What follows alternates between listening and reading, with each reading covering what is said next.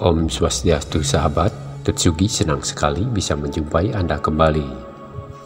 Dengan mengacu pada buku babat dalam, pada kesempatan ini saya akan berbagi kisah mengenai Dangyang Kepakisan dan para leluhur keturunan dalam di Bali setelah Bali menjadi bagian wilayah kekuasaan Majapahit.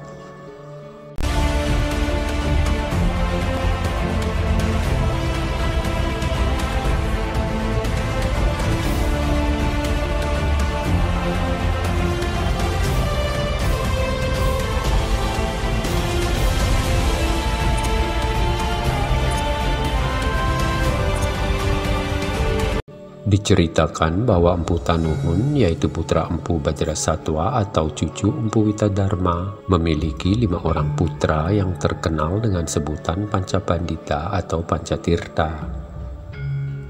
Mereka adalah Empu Genijaya, Empu Semeru, Empu Gana, Empu Kuturan, dan Empu Barada. Mereka, kecuali Empu Barada, kemudian pindah dari Jawa dan tinggal di Bali.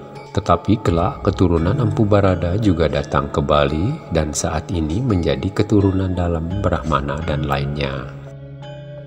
Empu Barada tetap berada di Jawa karena mengemban tugas sebagai Bagawanta Raja Erlangga di Kerajaan Kediri. Beliau memiliki pasraman di Pura Tujung Sari, Lemah Tulis, Kediri, Jawa Timur. Beliau adalah seorang Brahmana yang menguasai ilmu ketajaman batin dan kesaktian seperti sang ayah. Salah seorang putra beliau yang dikatakan lahir dari keutamaan yoga semadi dan keluhuran batin ialah Empu Bahula. Bahula artinya utama yang dimaksudkan sebagai keutamaan dan ketinggian batin seorang Brahmana sebagaimana ayahnya. Empu Berada disebutkan dapat menaklukkan Randeng Jirah, seorang janda sakti yang mempergunakan ilmu hitam dengan cara mengawinkan putranya Empu Bahula dengan putri Randeng Jirah yang bernama Ratna Manggali. Dari perkawinan itu lahir seorang putra bernama Empu Tantular atau Empu Wira Angsokanata yang menguasai segala macam ilmu dan memiliki kecakapan dalam bertutur kata. Selain itu lahir pula Empu Chandra yang kelak menurunkan Brahmana Keling dan di Bali diberi gelar Ida Dalam Sidakarya oleh Ida Dalam Watu Renggong.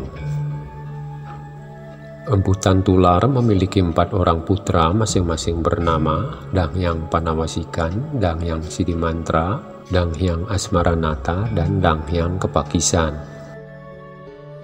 Selanjutnya, Dang Yang Panawasikan menurunkan Dang Yang Jayaremat dan Dang Yang Subali yang datang ke Bali bersama Sri Krishna Kepakisan sebagai Bagawanta Kerajaan.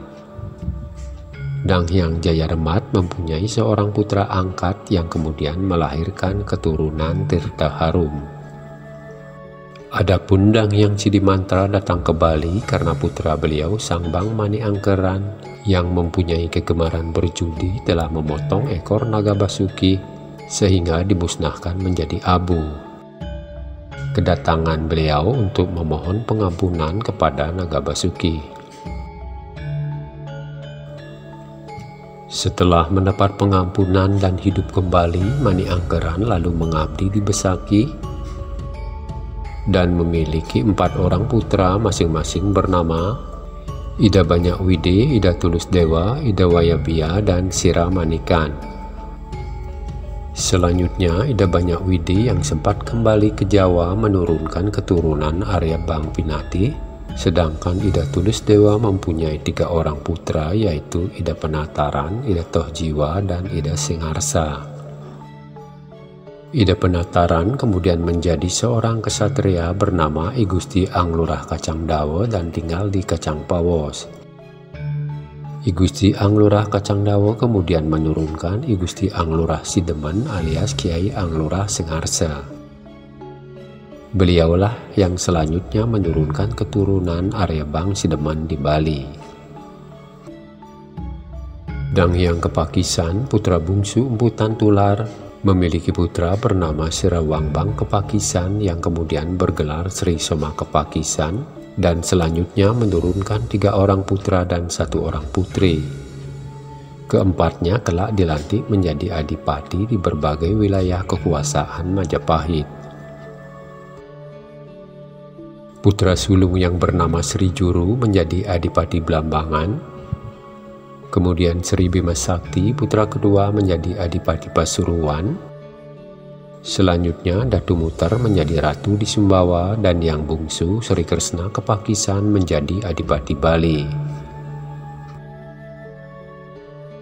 Demikianlah kisah mengenai Dangyang Kepakisan dan para leluhur dalam di Bali setelah Bali menjadi bagian wilayah kekuasaan Majapahit. Semoga bermanfaat. Rahayu.